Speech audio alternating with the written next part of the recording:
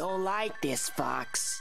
Fox, look out! It's a trap! Get him! What you say? Hey, Fox! Shut up! You have been a thorn in my side long enough. Did you know that people with guilty consciences are more easily startled by loud noises?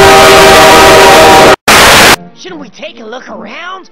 No! He's been captured? That's right. It was Your mother. that sent me to find you. Is she okay? She'll be just fine.